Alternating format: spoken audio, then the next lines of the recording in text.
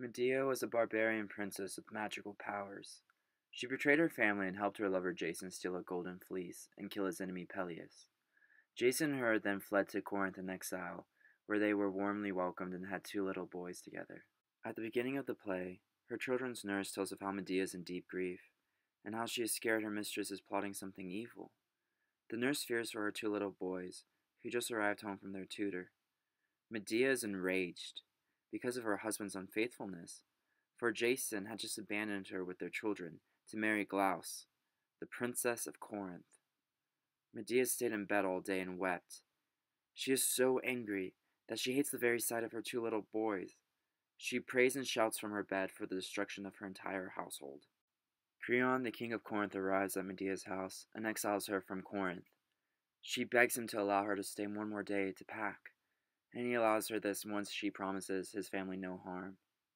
After Creon leaves, Jason visits her and tries to justify his actions. He explains how marrying a princess will help their family socially advance, and if he becomes king one day, he will keep Medea as a mistress. Medea becomes enraged at her husband's words, and where there was once love, there is now only hate. She tells him how she now has nowhere to go. By winning him the golden fleece, she severed ties with her family, and now she has to leave Corinth too. Jason tells her that he did her a favor by bringing her to civilized Greece from her barbaric kingdom. After Jason leaves, Medea is visited by a third man, Aegeus, king of Athens, who was sent there by an oracle at Delphi with a riddle. Offering him drugs to restore his fertility, Medea gets Aegeus to grant her a sanctuary in Athens. He happily agrees, not knowing that she plans to murder those who wronged her. Medea sets her mind on killing Glauce and Creon through poison, and to kill her own children, not because she hates them, but to punish her husband for his unfaithfulness.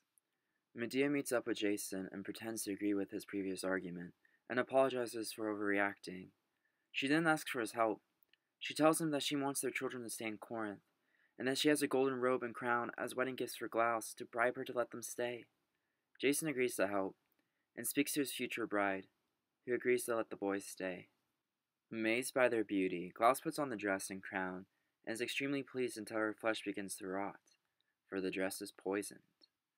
As she dies, her father embraces her and too is killed, for he chooses to die with his own daughter. Medea then completes her plan by stabbing her children to death. She hesitates at first, knowing it will sadden her, but she follows through with her plan, thinking her sadness is a payable price to make Jason suffer. Jason storms home to confront her about her crimes and is horrified to find his children dead.